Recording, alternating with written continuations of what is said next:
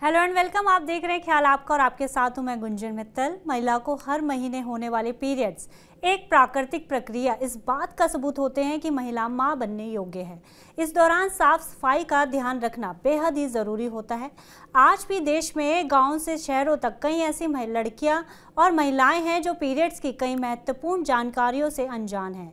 महिलाएँ इसके बारे में खुलकर बात नहीं करती, लेकिन कई लड़कियों और महिलाओं को अनियमित पीरियड्स पीरियड्स के दौरान पेट में और कमर में ज़्यादा दर्द जैसी कई और परेशानियों का सामना करना पड़ता है। पीरियड से जुड़ी किसी भी तरह की परेशानी को नज़रअंदाज करने से महिला के स्वास्थ्य पर बुरा प्रभाव पड़ सकता है। इसलिए इसके बारे में लोगों को जागरूक करने के लिए हर साल 28 मई को मैनुस्ट्रल हाइजीन डे बनाया जाता है। आज मैनुस्ट्रल हाइजीन डे के मौके पर हम अपनी एक्सपर्ट से जानेंगे इससे जुड़ी कुछ खास बातों के बारे में। इस विषय पर बात करने के लिए हमारे साथ हैं आज senior gynaecologist Marengo Asia hospital से डॉक्टर गुंजन भोला डॉक्टर गुंजन आपका बहुत बहुत स्वागत है हमारे शो में। थैंक यू गुंजन आपने मुझे यहाँ बुलाने के लिए। और मेंस्ट्रुअल हाइजीन डे जो कि एक uh, हमारी गवर्नमेंट ने इनिशिएटिव स्टार्ट किया था और वो इसीलिए किया था ताकि जो ये लड़कियों को स्पेशली जो स्कूल गोइंग गर्ल्स होती हैं या कॉलेज गोइंग गर्ल्स उनके अंदर में और जो कि यहाँ रहती हैं, शहरी और गाँव वाली, इन सबको ये क्लैरिटी रहे कि इससे कुछ घबराने की या इससे कोई इसको छुपाने की चीज़ नहीं है। ये एक नेचुरल प्रोसेस है जो हर महिला में होता है, जो एक एज के बाद शुरू होके पचास साल की एज तक चलता है और हर मंथली साइकिल या महावारी जो है, उससे घबराना और उसको छुपाना की बजाय आपको उसकी, जो भी आपको उसके साथ की समस्याएँ हैं, उसका खुल के डिस्कस करना अपने माँ बाप से और अगर रिक्वायर्ड हो तो डॉक्टर से करना कितना आवश्यक है। जी जी। डॉक्टर गुंजन मेरा सवाल पहला यही है कि डॉक्टर जो महिलाएँ हैं और खासकर हम टीनेज गर्ल्स की बात करें तो अक्सर पीरियड से जुड़ी परेशानियों के बारे में बात करने से ना कतराती हैं। वो सोचती हैं कि अगर हम इस विषय पर किसी से बात करेंगे तो कोई क्या सोचेगा?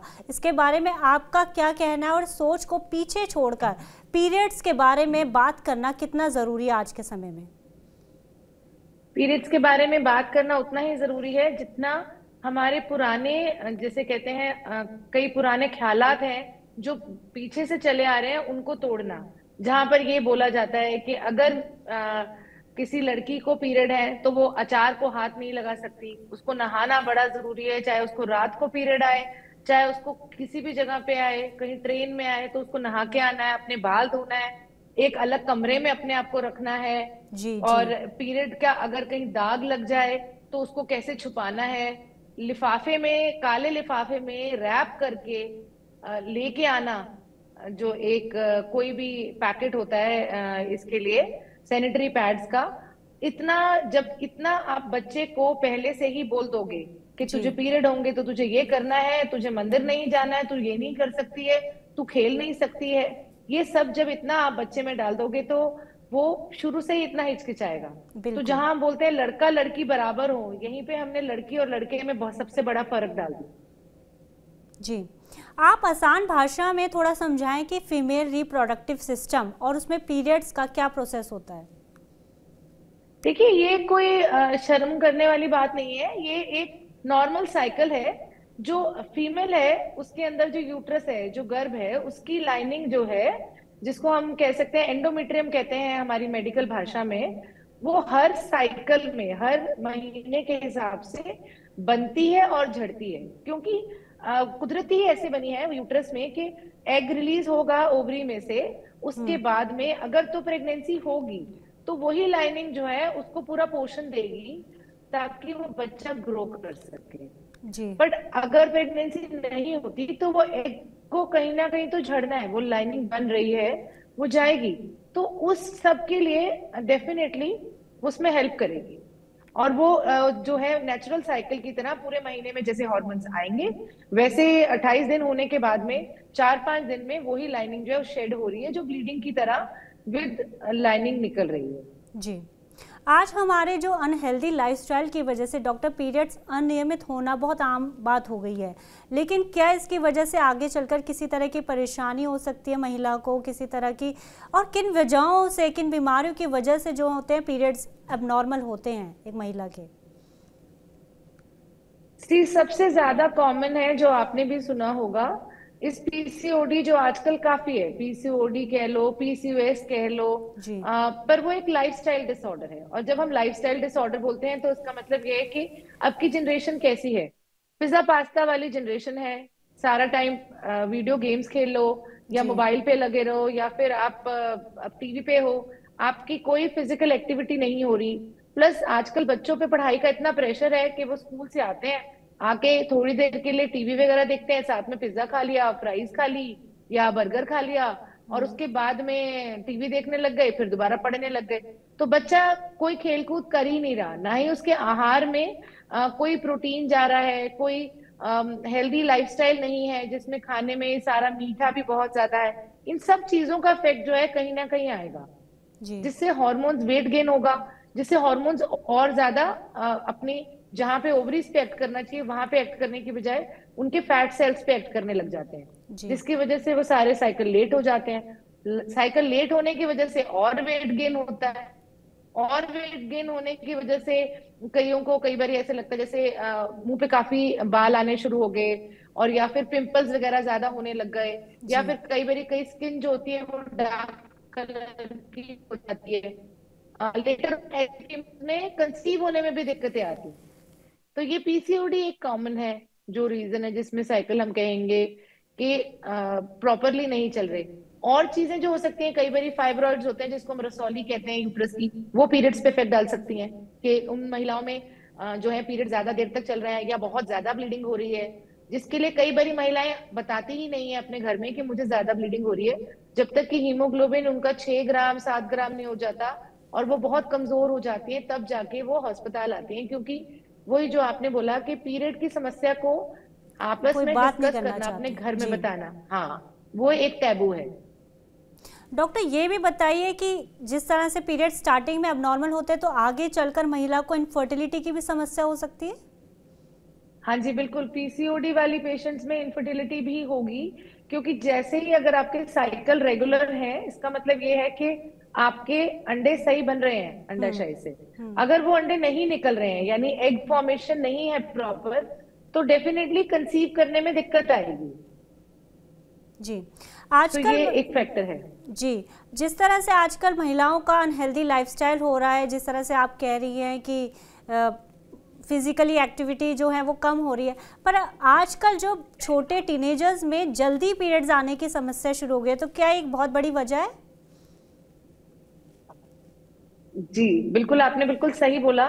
जैसे आपने ये बोला कि पीरियड्स की रेगुलरिटी अब वही बच्चे जो है जब एक्सरसाइज नहीं कर रहे हैं उनका वेट गेन हो रहा है तो उनको पीरियड जल्दी आने की संभावनाएँ बढ़ रही हैं। हमारे पास कई बच्चे आ रहे हैं जिनके आठ नौ साल पे पीरियड शुरू हो जा रहे हैं। ऐसी कंडीशन में नुकसान ये है कि बच्चे की हाइट जो है ना वो बहुत ज़्यादा बढ़नी नहीं रुक जाती है। उसकी रुक जाएगी हाइट कहीं पे। और फिर उसको जो है जल्दी पीरियड आने की वजह से इतना छोटा बच्चा कैसे अपने आप को एडजस्ट करे स्कूल में? कैसे करे? ये अलग समस्याएँ उसके लिए और बढ़ गई हैं, जो माँ बाप के लिए भी एक समस्या है। जी। डॉक्टर, ये बताइए कि नेशनल फैमिली हेल्थ सर्वे की एक रिपोर्ट ने बताया है कि 15 से 24 साल की उम्र की करीब 50 परसेंट महिलाएँ अभी भी महावारी के दौरान कपड़े का इस्तेमाल करती हैं तो इसके बारे में आप क्या कहना चाहेंगी? देखिए अभी तो हमारे यहाँ पे काफ़ी अवेयरनेस आ गई है। जैसे मेंस्ट्रुअल हाइजीन डे जो हर साल मनाया जा रहा है उसमें सरकार की तरफ़ से बहुत कोशिशें हैं जिसमें सैनिटरी पैड्स दिए जा रहे हैं। इनफैक्ट अभी आपने देखा होगा कि अक्षय कुमार की मूवी आई थी पैडमैन जिसको नेशनली भी अक्लेम किया गया। वो इस इसी के ऊपर बेस थी कि जो ये हम्म। कपड़े यूज़ करने की वजह से जो उनको इन्फेक्शन हो जाती है और उसके बाद में जो दिक्कतें महिलाएँ सहती हैं उसको पैड से कैसे सॉल्व किया जाता है। तो डेफिनेटली बेटर हुआ है बट अभी भी हमारे लिए बहुत आगे जाना बाकी है। बहुत अवेयरनेस लाना बाकी है। बिल्कुल डॉक्टर गुंजन। डॉक्टर गुंजन ये भी बताइए कि मैनुस्ट्रल हाइजीन कितनी ज़रूरी है आज के समय में और इसमें किन बातों का ध्यान रखना चाहिए? और सैनिटरी पैड्स को कितने समय के अंदर बदलना ज़रूरी है? सो so, ये आपने बहुत अच्छी चीज़ पूछी गुंजन क्योंकि आ, लोगों को पैड पता तो है यूज़ करने हैं पर कितनी देर करने हैं कब बदलने हैं और क्या क्या उस टाइम पे अपने साथ में सफ़ाई रखना है वो सब चीज़ें जो है कोई इतना एक्सप्लेन नहीं करता। सो हम्म। so, क्या है कि जो पैड है वो आपको हर बारह घंटे में तो बदलना ही बदलना है अगर वो चाहे पूरा भरे या ना भरे बट अगर पूरा यूज़ हो गया है तो आप जल्दी उसको चेंज कर सकती हैं। आपको सिर्फ़ प्लेन वाटर से वॉश करना है, कोई ये वाले जो वॉशेज आते हैं, ये ज़रूरी नहीं है कि आपको इनका इस्तेमाल करना है। बेसिकली आपको अपने आप को हाइजीन में साफ़ सफ़ाई का ध्यान रखना है। जैसे आप जब नहा रहे हैं तो अपने आप को प्रॉपरली क्लीन करिए। अगर आपको लग रहा है कि आपके अंडरवेयर खराब हो रहे हैं तो आप उसको जल्दी चेंज करिए। ये कुछ प्रिकॉशंस हैं जो आपको ध्यान रखने but at the same time over clean नहीं करना है। ओवर क्लीन करने में हम बहुत बार हेल्दी बैक्टीरिया भी लूज आउट कर जाते हैं। और बहुत पेशेंट हमारे पास में फंगल इन्फेक्शन की वजह से आ जाते हैं। जी। So, ये बैलेंस है जो ध्यान रखना है। जी। पीरियड से जुड़े काफ़ी सारे मिथ्स भी हैं। इसमें कहते हैं कि नॉर्मल एक्टिविटीज़ ना करें। ये भी कहते हैं कि एक्सरसाइज नहीं करनी चाहिए। आजकल लड़कियाँ जिमिंग बहुत कर रही हैं। तो इसके बारे में आप क्या कहना चाहते हैं कि ये बातें कितनी फैक्टफुल हैं? देखिए मैंने तो आपको अभी यही बोला कि पीरियड्स होना इज़ अ नॉर्मल थिंग बिल्कुल एक नॉर्मल है फीमेल में और इससे हम मेरे हिसाब से जो फीमेल्स है वो मेल से ज़्यादा स्ट्रॉन्गर सेक्स है। क्योंकि वो अपने साथ साथ में अपने घर को भी बैलेंस करती हैं। तो हम ये बोल के कि पीरियड्स के चार पाँच दिन जो है अभी घर रहे या ये मत करें हम अपने आप को भी कमज़ोर कर रहे हैं और अपने घर में बैठी महिलाओं को भी कमज़ोर कर रहे हैं। उनको जो दिक्कतें हैं उसका उन सब का हल है। बस उनको उस टाइम पे जाकर डॉक्टर से बात करनी है कि मुझे ये दिक्कतें हैं। उसके अलावा वो एरोबिक्स कर सकती हैं एक्सरसाइज कर सकती हैं इनफैक्ट विद टैम्पून स्विमिंग कर सकती हैं जो और कोई ऐसी चीज़ नहीं है जिससे इसके अंदर उनको कोई चीज़ की रुकावट रहे। अगर दर्द है तो दर्द का इलाज है ब्लीडिंग ज़्यादा है तो ब्लीडिंग का इलाज है बट कहीं रुकना नहीं है। बिल्कुल। डॉक्टर गुंजन, ये भी बताइए, अभी एक हाल ही में महाराष्ट्र से खबर सामने आई है, जहाँ एक शख्स ने अपनी 12 साल की बहन को शारीरिक संबंध बनाए जाने के शक को लेकर हत्या कर दी, जबकि लड़की को पहली बार पीरियड्स हुए थे। और शख्स की उम्र 30 साल बताई जा रही है तो पीरियड्स के बारे में लोगों को और साथ ही बच्चों को जागरूक करना आज के समय में कितना ज़रूरी हो जाता है, जब हमारे बीच में से, सोसाइटी में से ऐसी न्यूज़ आ रही हैं तो कितना ज़रूरी है लोगों को इसके बारे में जागरूक करना? आप बिल्कुल सही कह रही हैं, और जैसे मैंने अभी ये बोला मेंस्ट्रुअल हाइजीन डे के थ्रू ये कुछ पिछले जिन सालों से मनाया जा रहा है, मुझे हर साल में मैं इस टाइम पीरियड में किसी ना किसी स्कूल में ज़रूर जाती हूँ, और स्कूल के बच्चों के साथ में मैं इंटरेक्ट करती हूँ, जिनके साथ में हम, जो कि थर्ड फोर्थ क्लास ऑनवर्ड जिनको पीरियड्स के बारे में एक शुरुआती जानकारी हम देते हैं कि वो इससे घबराए ना, और इससे परेशान ना हो, और एक कंफर्टेबल एनवायरनमेंट स्कूल में क्रिएट कर, करा जा रहा है। और ये मैंने देखा ये इनिशिएटिव काफ़ी स्कूलों ने लेना शुरू कर दिया है इस बारे में ताकि ज़्यादा से ज़्यादा लोगों को इसकी अवेयरनेस हो और पता चले। ठीक बच्चों को तो हम जागरूक कर रहे हैं पर यहाँ पर जो मामला है वो भाई का है। तीस साल का वो भाई है फिर भी उसको अवेयर नहीं है वो इस बारे में कि उसकी बहन को पीरियड्स हुए हैं। बारह साल की सिर्फ़ बहन है और वो उसको मार डालता है शारीरिक संबंध बनाए जाने के शक को लेकर। तो ऐसे में सोसाइटी को भी जागरूक करना एक बहुत बड़ी चुनौती है हमारे सामने। एक्चुअली चाहती हूँ कि मैक्सिमम लोग आपका ये देखें और समझें कि ये एक नॉर्मल प्रोसेस है जिससे आपको किसी को भी आ, अपने आप को कम समझने की ज़रूरत नहीं है किसी भी फीमेल को। जी। और ये नॉर्मल जैसे भी मैनेज होगा उस उसके लिए टेक्निकें हैं जिसको वो यूज़ कर सकते हैं। चाहे वो पैड हो चाहे वो टेम्पून्स हो चाहे मेंस्ट्रुअल कप्स हो चाहे अभी आजकल मेंस्ट्रुअल अंडरवेयर्स भी आने लग गए हैं। कोई भी ऑप्शंस में वो अपने आप को सेफ़ uh, फील कर सकती हैं ताकि उनको ये डर नहीं रहे कि हमें दुकान से पैड लेने जाना है और वो दुकान वाला भी उसको काले लिफाफे में पैक करके देके उनको एक शर्मिंदगी का एहसास ना हो। बिल्कुल बिल्कुल। आज भी शायद महिलाएँ सैनिटरी पैड्स खरीदने में हिचकिचाती हैं। ये बहुत बड़ी हमारे समाज में एक दुविधा है। क्योंकि जब तक हम इसको मानेंगे नहीं ना तब तक हम उसको यही करेंगे। बाहर की कंट्रियों में तो जब पहली बार जो उनके वहाँ पे किसी लड़की के पीरियड्स होते हैं कई कंट्रीज़ में वहाँ पे उसको वो सेलिब्रेट करते हैं कि इनके पीरियड शुरू हो गए। तो ये अवेयरनेस अभी इंडिया में आनी बाकी है। बिल्कुल बिल्कुल। डॉक्टर ये भी बताइए क्या पीरियड्स के समय डाइट का ध्यान रखना बहुत ज़्यादा ज़रूरी है और क्यों? साथ ही किस तरह की डाइट लेनी चाहिए और किन चीज़ों से हमें परहेज करना चाहिए?